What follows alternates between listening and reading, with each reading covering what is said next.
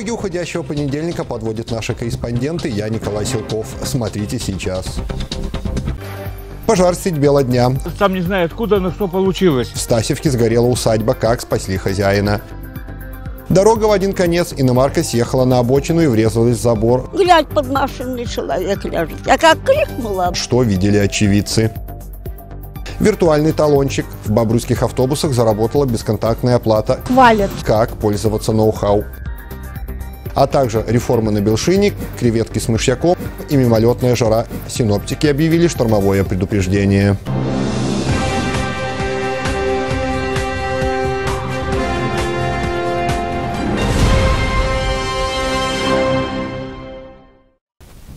В Беларуси выздоровели выписаны свыше 6,5 тысяч пациентов с COVID-19. По всей стране работают 38 лабораторий. Врачи провели почти 275 тысяч тестов.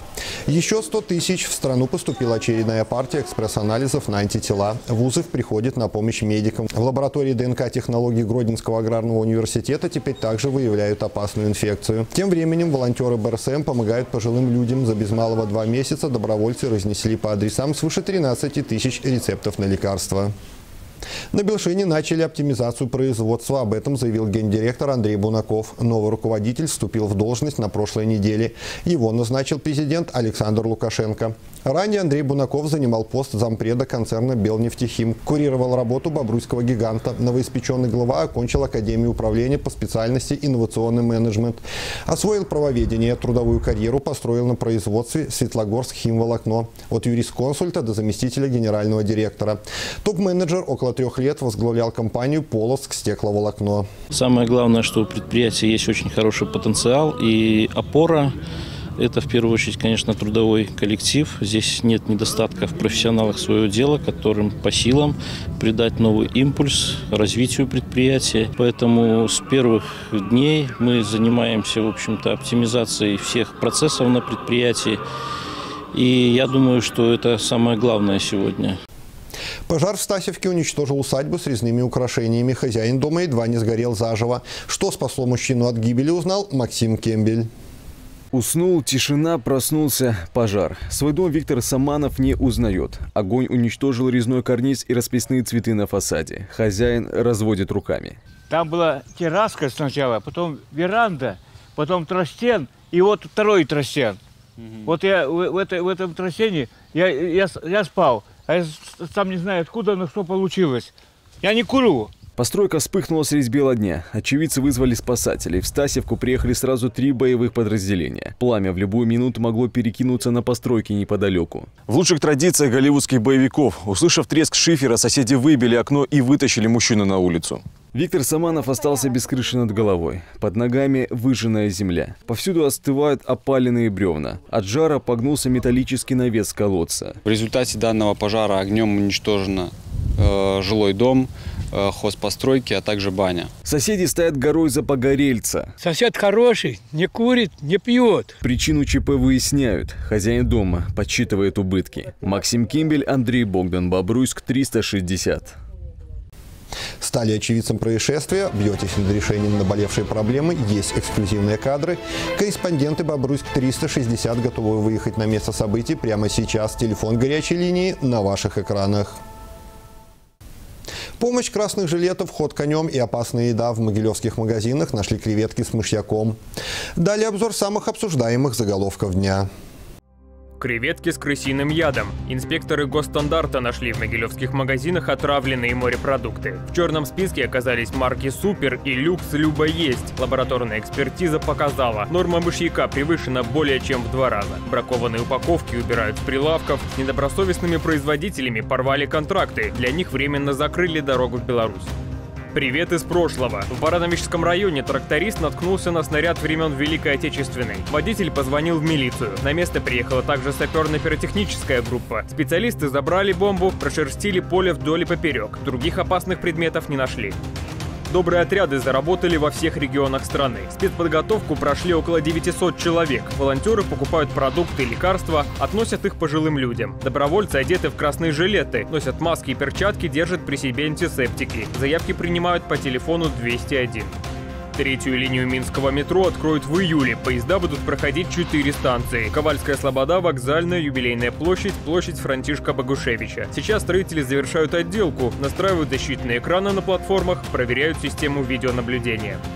Три золота, два серебра и бронза. Белорусские спортсмены завоевали шесть медалей на международном онлайн-турнире по шашкам. Соревнования приурочили к 75-летию Великой Победы. Состязания прошли 9 и 10 мая на платформе playop.com и объединили 540 спортсменов из 24 стран.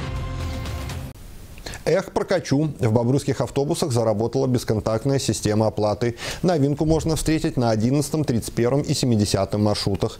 Чтобы пользоваться системой, надо скачать приложение на смартфон, привязать его к электронному кошельку. В общественном транспорте достаточно поднести камеру к наклейке с QR-кодом. Остается выбрать нужное количество билетов и оплатить. Кондуктор посредством своей карточки специальной с таким же QR-кодом, индивидуальной на каждого кондуктора, подходит к пассажиру, и пассажир сканирует теперь уже ее код, после чего она видит, когда был оплачен билет, когда он был приобретен, какое количество билетов вообще, в принципе, было оплачено. Похожая система оплаты уже протестировали во всех областных центрах и Борисове. В Минске ноу-хау стало доступно лишь на прошлой неделе. Кому-то нравится, кто-то интересуется. Но, во всяком случае, претензий нету и это самое, хвалят. Без тормозов в деревне Лекерта иномарка съехала на обочину и снесла забор. По словам свидетелей, водитель был под шофе. У хозяйки разрушенной изгороди буквально заслезились глаза. Анастасия Похлестова передает с места ЧП. Куски бетонного ограждения в перемешку с обломками от машины. Аварию, которая случилась вчера вечером в деревне Лекерта, забудут не скоро. Надежда Киреева признается, очень испугалась. С коридора выхожу, дверь открываю. Смотрю, мой забор на щепки летит вверху. Дочка в хата кричит, Таня, война. Я подумала, что с неба может самолет. Не вписался. Машина ехала по центральной. Водитель повернул, не справился с управлением. Автомобиль вылетел в кювет, упал на забор и перевернулся. Бетонный забор разлетелся в клочья. Обломки разбросаны по всему огороду. На земле еще остались следы от шин.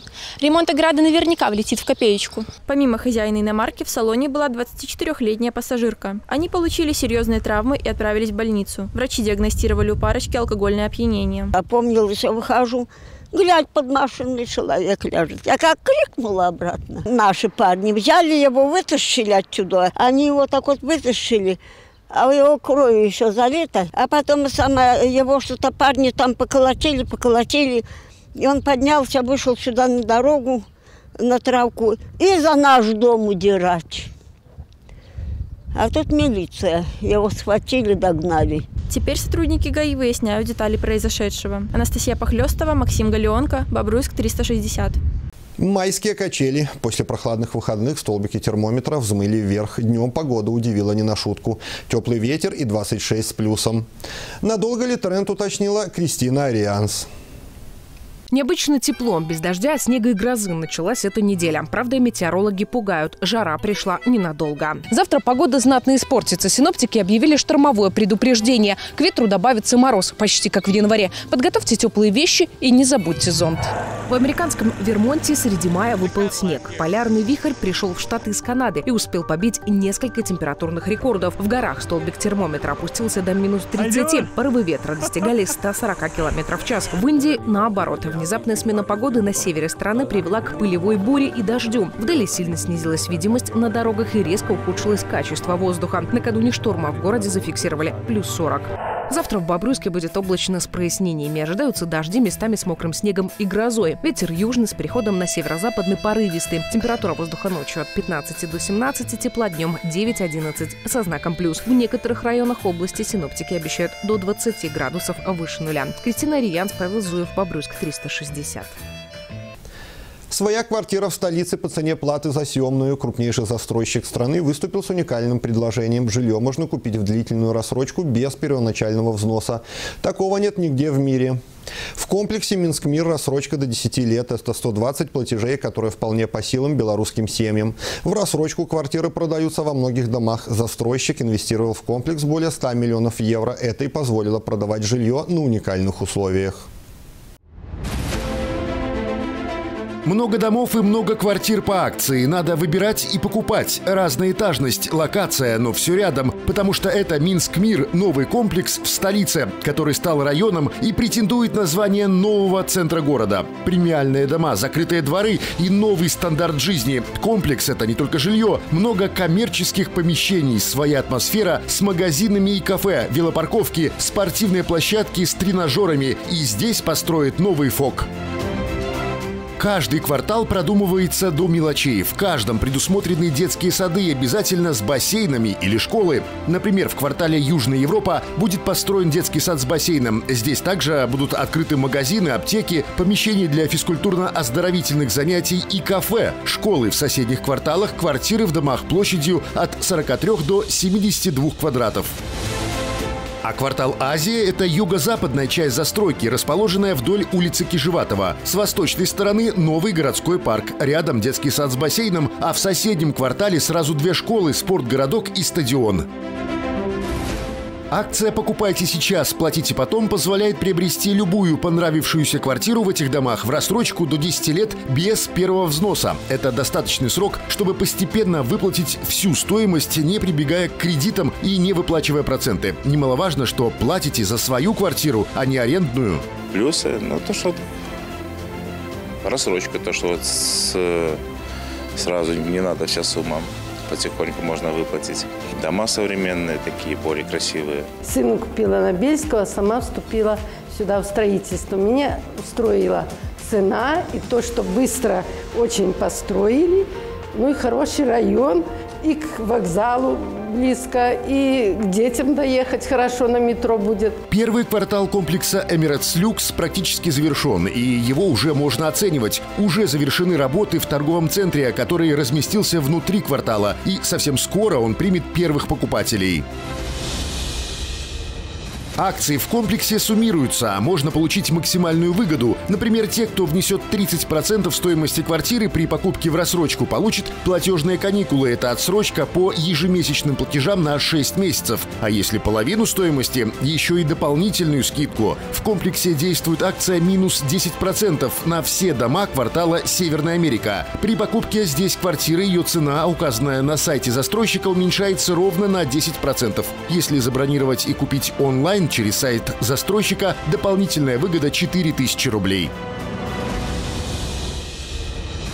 Комплекс Минск-Мир в представлении не нуждается. Район, который строится как город в городе. Вся необходимая инфраструктура. Две станции метро новой линии, городской парк. Идет активное строительство международного финансового центра, тысячи новых рабочих мест и инвестиции со всего мира. И если покупать новую квартиру, то именно здесь. Новый стандарт столичной жизни – это Минск-Мир, город в городе. Это все из событий к этой минуте. Следите за нами в интернете и соцсетях. Мы в эфире каждый будний вечер. Счастливо!